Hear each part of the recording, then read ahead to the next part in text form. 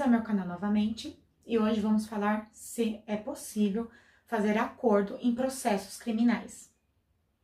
Então já sabe, fica comigo até o final desse vídeo. Primeiramente, desculpa pela minha voz, mas eu preciso passar conteúdo para vocês, então vai com essa voz rouca mesmo.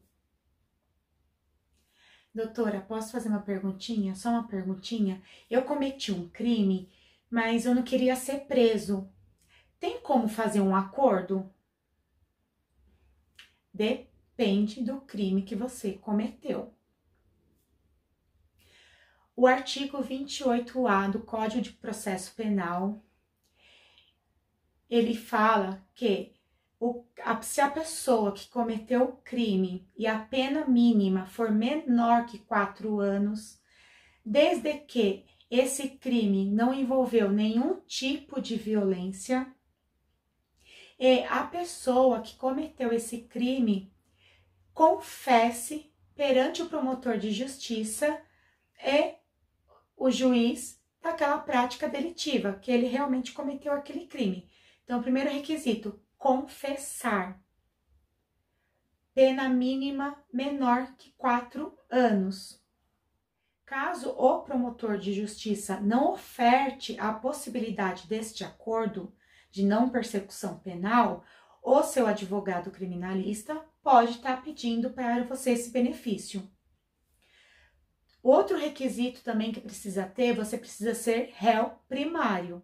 Se você preencher todos esses requisitos, for homologado esse acordo, durante cinco anos você não pode se envolver em nenhuma prática de crime.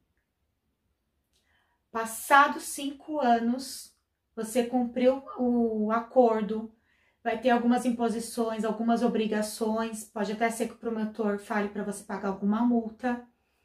Passados cinco anos, você cumpriu com tudo que foi determinado neste acordo, você vai continuar sendo réu primário. Esse benefício só pode ser utilizado uma, uma vez a cada cinco anos.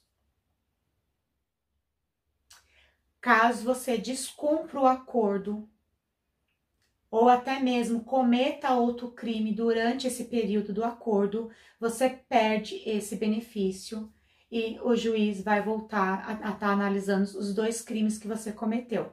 Esse que você fez o acordo e o segundo que você cometeu durante o acordo. Compartilhe esse vídeo com o maior número de pessoas. Deixa seu like, se inscreva no canal, ative o sino para você não perder nenhuma notificação de vídeo novo aqui do canal. Obrigada!